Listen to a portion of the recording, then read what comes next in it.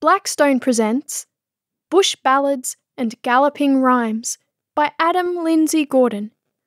This book is read by Roger Parish. The Three Friends From the French The sword slew one in deadly strife, one perished by the bowl, the third lies self slain by the knife, for three the bells may toll. I loved her better than my life, and better than my soul. Ay, father, hast thou come at last? 'Tis somewhat late to pray. Life's crimson tides are ebbing fast, they drain my soul away. Mine eyes with film are overcast, the lights are waning grey.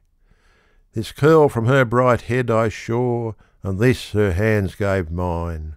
See, one is stained with purple gore, and one with poisoned wine. Give these to her when all is o'er, how serpent like they twine. We three were brethren in arms, and sworn companions we. We held this motto, Whoso harms the one shall harm the three. Till matchless for her subtle charms, beloved of each was she. These two were slain that I might kiss her sweet mouth. I did well. I said, There is no greater bliss for those in heaven that dwell. I lost her. Then I said, There is no fiercer pang in hell. We have upheld each other's rights, shared purse and borrowed blade, have stricken side by side in fights, and side by side have prayed in churches. We were Christian knights, and she a Christian maid. We met at sunrise, he and I, my comrade. 'Twas agreed the steel our quarrel first should try, the poison should succeed. For two of three were doomed to die, and one was doomed to bleed. We buckled to the doubtful fray, at first with some remorse. But he who must be slain or slay soon strikes with vengeful force. He fell. I left him where he lay, among the trampled gorse. Did passion warp my heart and head to madness?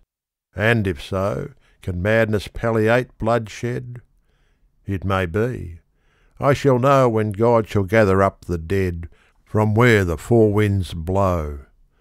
We met at sunset, he and I, my second comrade true.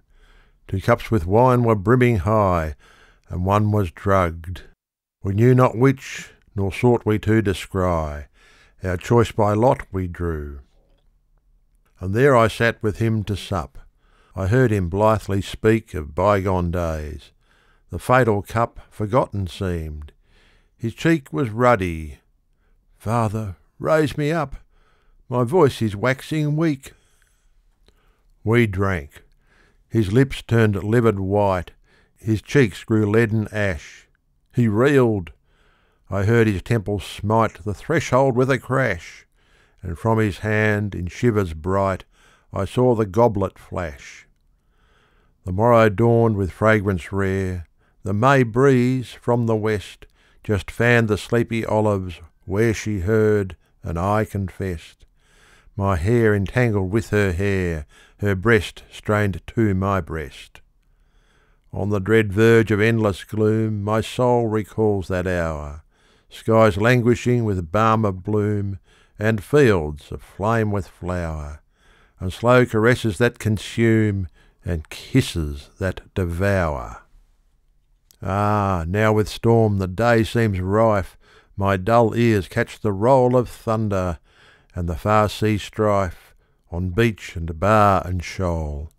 I loved her better than my life, and better than my soul. She fled, I cannot prove her guilt, nor would I, an I could. See, life for life is fairly spilt, and blood for shed is blood.